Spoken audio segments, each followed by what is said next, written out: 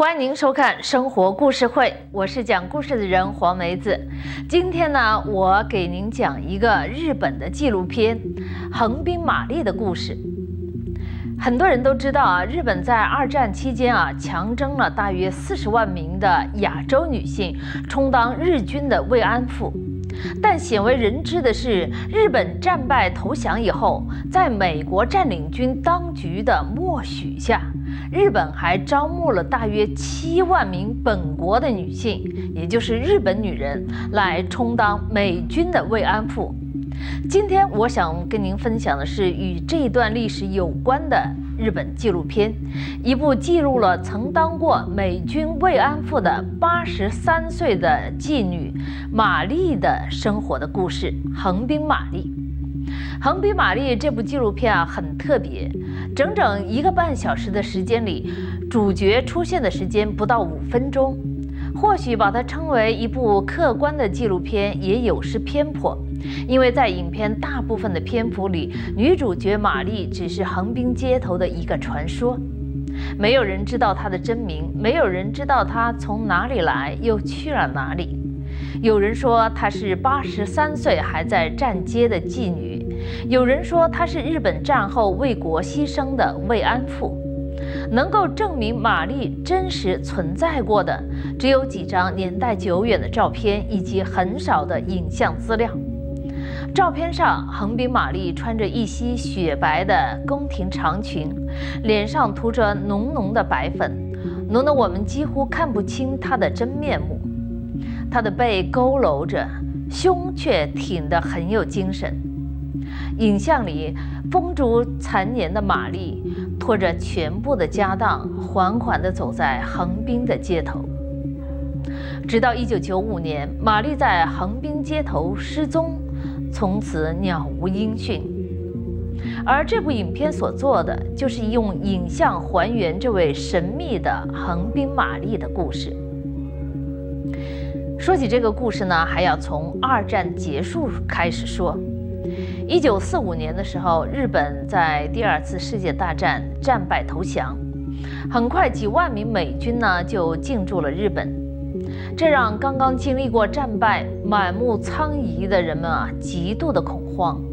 战败以后的日本啊，啊，日本的人民、日本的政府担忧妇女遭到暴行凌辱，被列为啊劣等的国民，因为他们曾经这样对待过其他的国家，所以。为了保全皇族、贵族、公卿、上层妇女的贞操和日本人的纯重的血统，日本政府做出了一个丧心病狂的对策：招募民间女子为进驻的美军提供慰安服务，用一部分日本女性的肉体去换来绝大部分日本妇女的安全。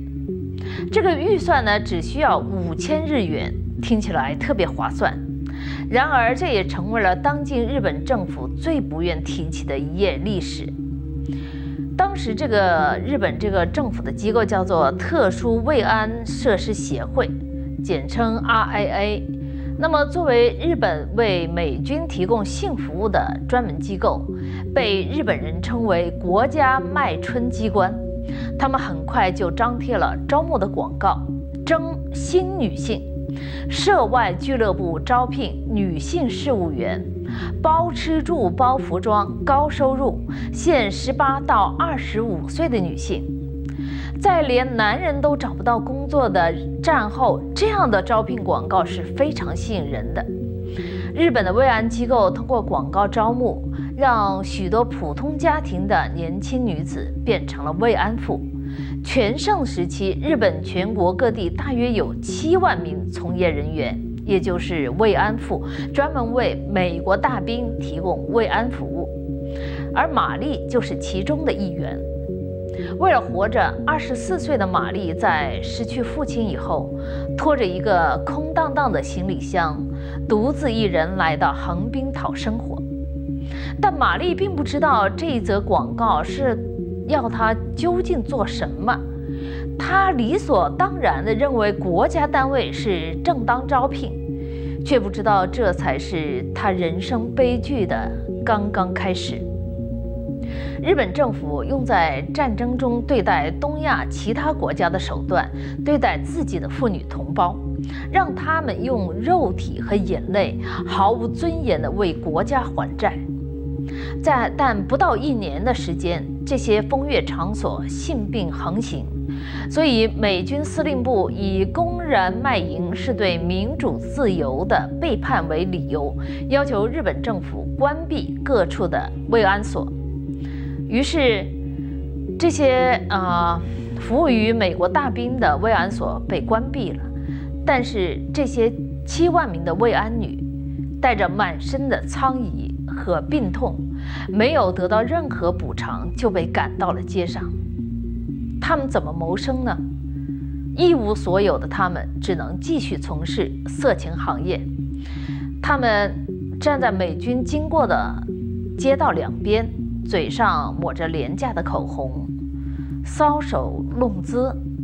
那个时候的玛丽呢，美丽优雅，很受美军欢迎。他会弹钢琴，会画画，写的一手好字，还说的一口流利的英语。不同于其他的妓女，她的气质优雅而高贵，走路永远抬着头，穿着西式的洋装，化着精致的妆，比起妓女打扮得更像一个贵族小姐，所以人们都叫她横滨女郎、皇后陛下。后来呢，大家就都叫她横滨玛丽了。那么，一九五四年啊，三十三岁的玛丽和一位啊驻日本的美军军官就相爱了。玛丽跟着军官来到了横须贺，可是不久呢，那位美国军官就被部队啊调回美国了。美国军官答应他啊，说他一定会回来，并且送给他一枚翡翠戒指作为信物。那么之后的四十年。玛丽就为了军官的这一句话，我一定会回来，她就留在了横滨。玛丽戴着那一枚翡翠的戒指，穿着洋裙，涂着细致的白粉，走在横滨的每一个街头。她说：“这里的海港是全日本最有可能与她相遇的地方。她要用最有尊严、最美的一面迎接她的军官的归来。”但这一等就是一辈子。一九九五年，直到玛丽在横滨消失，他都没有等到那位军官。横滨玛丽要活下去，可八十岁的老妓女，有谁会找她买春呢？曾经的皇后陛下渐渐的年老色衰，背也驼得很厉害，但她依然努力地挺着胸，依旧每天画着夸张的妆容。带着一股说不出的高傲气质，拖着全部的行李走在横滨的街道上。他没有随着新时代的到来做出改变，而是坚守在自己的世界里，和自己的记忆以及那些已经消逝的历史一起活在过去。于是他成了横滨这个城市的异类，没有人愿意用他用过的东西。人们对这个穿着奇装异服的老妓女避而不及，甚至因为奇装异服，她曾经被警察逮捕过二十二次。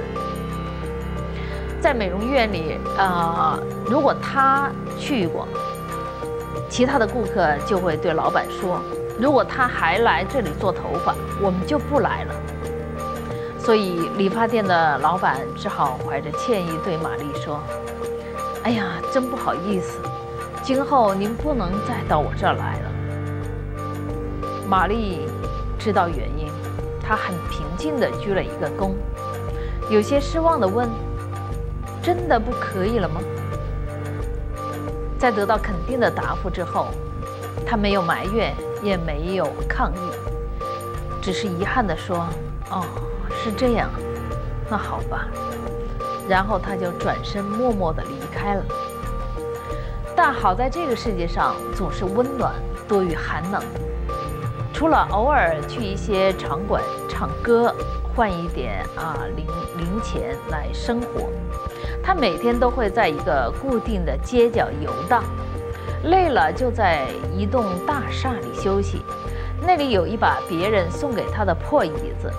上面用中文写着“我爱你”。晚上他就睡在啊这把椅子上，将行李包垫在脚下。作为一个极度自尊的人，即使身无分文，他也从不接受施舍。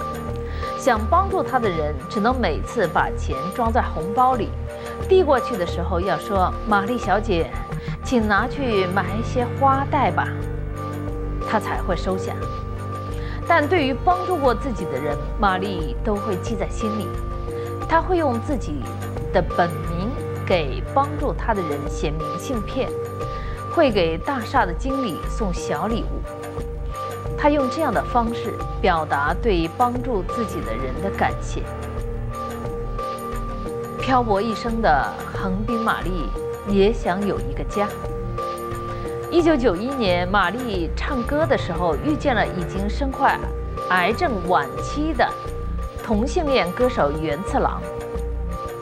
袁次郎说：“看见玛丽，就让他想起了自己的母亲。”二战以后的日本男性劳动力大量的缺失，很多日本妇女靠从事最卑微的职业来支撑起家庭的重担，其中就包括了袁次郎的母亲。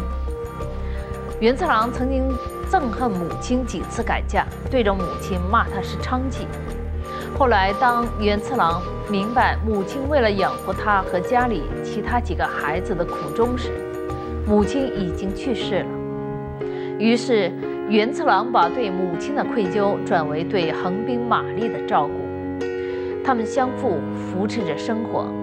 源次郎像照顾妈妈一样的照顾横滨玛丽。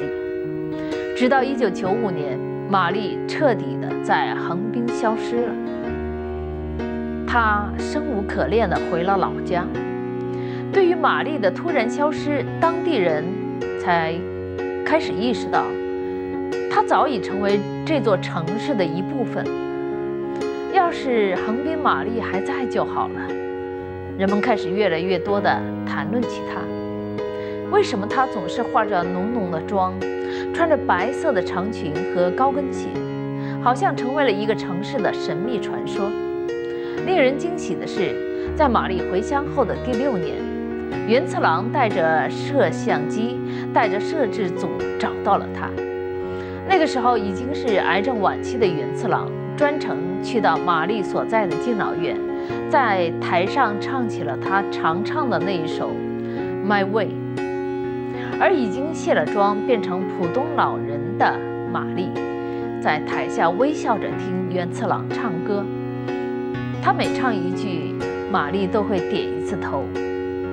唱完歌的源次郎带着玛丽说说笑笑，欢快地消失在了镜头里。这就是影片的最后。这部影片并不想展现玛丽一生的苦难，只是想记录真实。一种被很多人遗忘的真实历史。电影中的源次郎和玛丽，他们的一生更像是战后日本的缩影。二零零四年，源次郎因病去世，玛丽也在第二年，也就是二零零五年离开了人世。他们原本拉钩约好要一起活到一百岁。战争的无情印在每一个经历过人的人的身上。当我们回顾历史，我们看到的只是那些历史上重要的事件，我们不知道在那些重要的时间节点活下来的人，是带着怎样的一种心情在继续的活着。他们痛过、爱过、受人冷眼过，也饱含热泪过。他们是时代的见证者，他们也是逐渐被遗忘的一群人。但不可否认的是，他们真真切切地活过，才撑起了这个摇摇晃晃的人间。好了，今天的生活故事会就讲到这儿了。如果您爱听，下次我再接着跟您讲。